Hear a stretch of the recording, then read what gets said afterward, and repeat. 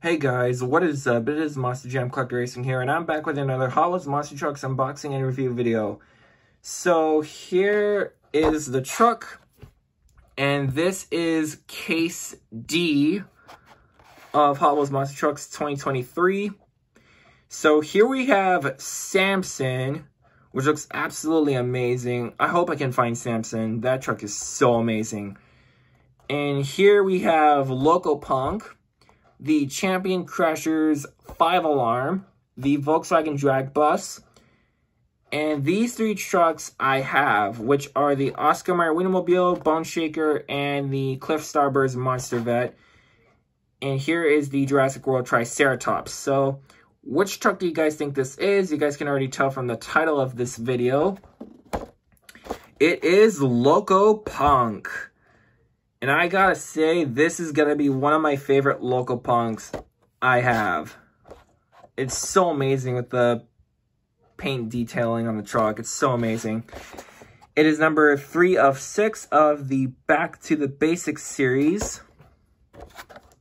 And before we unbox Loco Punk, we're going to take a look at the status. And here they are. Name, Loco Punk, Truck Type City, Strength, Front Row Catcher, Crash Attack, Railroad Rundown, Motivation to Choo Choo the Opposition. So, yeah, those are the status. And now let's, let's go ahead and unbox Loco Punk. Alright guys, here it is, Loco Punk. This looks absolutely amazing. Very detailed looking truck.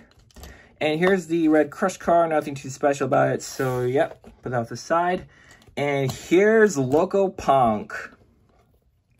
This is gotta be one of my favorite Loco Punks ever because I really like the decaling on this truck of the orange and blue. I call it the Hot Wheels home colors, so to speak.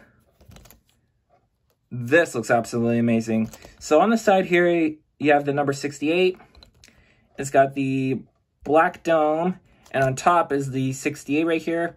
And you got the black funnel right here. And here's the front with the front row catcher. And it has the blue rims. I hope Wheels Monster Trucks can continue with these rims because these rims look absolutely amazing on the Wheels Monster trucks. It's got the orange chassis, dark blue roll cage, dark blue cab, which looks absolutely amazing. And same thing on the other side. This is one of my all-time favorite Loco Punks for sure.